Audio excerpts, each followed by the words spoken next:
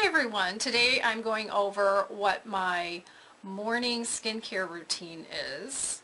It actually is pretty simple. Um, I'm not usually trying anything harsh at the moment. So how I start out depends on if I worked out in the morning or not. If I worked out, I use a cleanser. If I don't, I just splash water on my face and then start with toner. So um, a couple of the cleansers I'm using most of the time what I use is this Neutrogena Fresh Foaming Cleanser, even though it doesn't foam. And, and I just use a little bit because in the morning I'm not taking off makeup. But I have been experimenting with this Murad. Um, they have several different kinds of cleansers. This is the Renewing Cleansing Cream. And again, I would just use a little bit. Um, I have mentioned in some other videos that I've got a little bit of rosacea right here, which is interesting. Um, an esthetician pointed that out to me several years ago.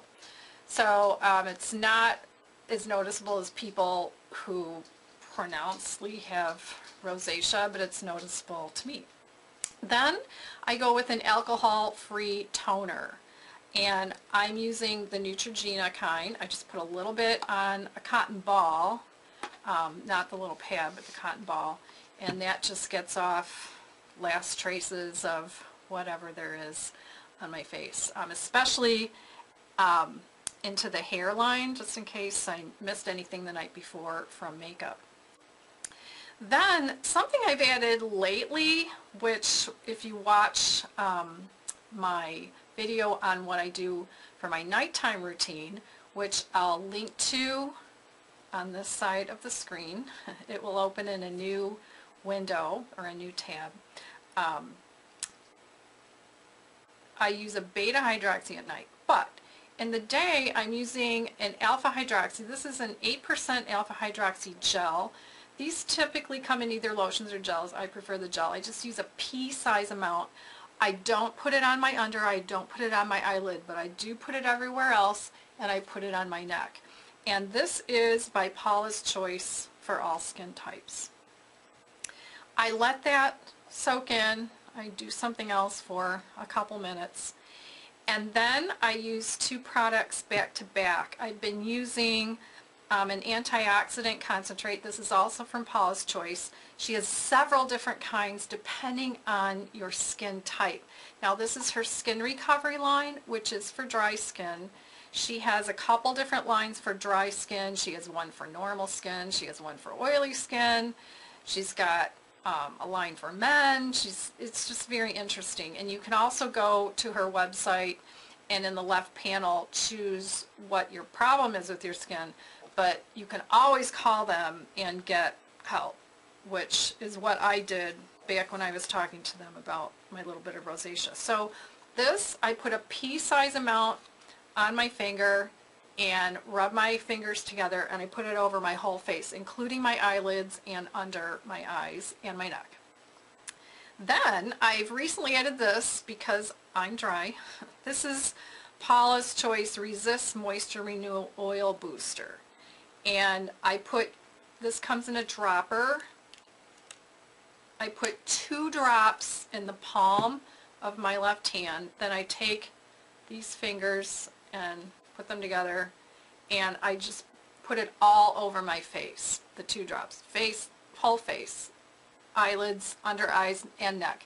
Now, if I only had, uh, if I had normal skin, but I had um, some dry spots, I would probably just do one drop and touch that finger on that one drop and then touch the dry spots on my face and leave it. Then I let that soak in for a couple minutes and then the last thing I use is a sunscreen. And I've been using, again, going back to Paula's Choice. I've also tried Neutrogena. There are a lot of really good sunscreens on the product, on the market these days.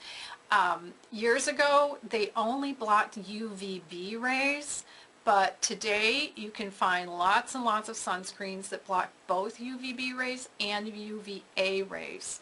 And um, my favorite product or ingredient inside a sunscreen that blocks UVA rays is titanium dioxide because it is best for sensitive skin. I've done a lot of reading on this. including Dr. Mercola's website. So I use Paula's Choice and her skin recovery line, again, because my skin is fairly dry.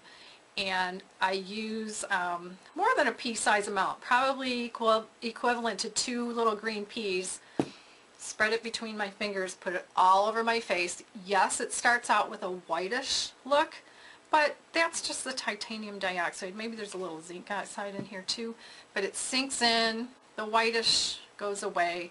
I let that finish sinking into my skin. I go do something else before I put makeup on. So that is my daily routine. Um, I'm also wanted to mention um, what I did today with this makeup.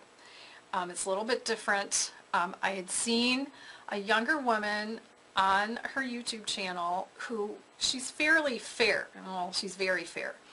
And for contouring, she didn't like using a contour stick because it's too brown orange on her. So what she did was she used a dark taupe matte eyeshadow in her contouring, just in here, really. So I tried it today. It's not too bad. Um, I used a brush this size, and in my Stila, I won't show you the mirror, in my Stila Mind eyeshadow, I used this one.